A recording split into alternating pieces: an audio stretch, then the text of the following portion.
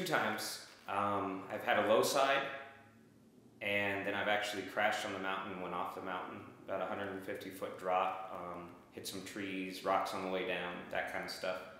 Uh, ended in a riverbed basically, and then uh, had to crawl out of that. Yeah, I was actually. Thank, thankfully, had I not been wearing gear, um, I more than likely wouldn't be here to answer these questions today. I did end up with multiple fractures, uh, a lot of pain. Uh, some of my gear was destroyed uh, through the wreck, so I was very thankful to have gear on.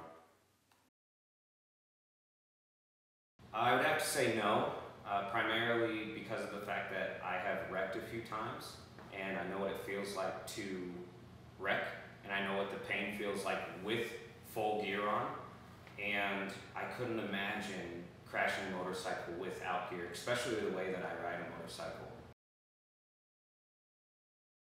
Uh, currently, right now, I prefer Alpinestars. I have Alpinestar pants, boots, gloves, uh, jacket.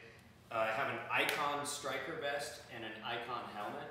Uh, but the reason why I buy Alpinestars is I like the fit. It's very comfortable. Um, a lot of gear is made for different size riders, like Icon gear is for wider frames. I don't have a very big frame, I'm very petite, so Alpinestars fits very snug and I really appreciate it.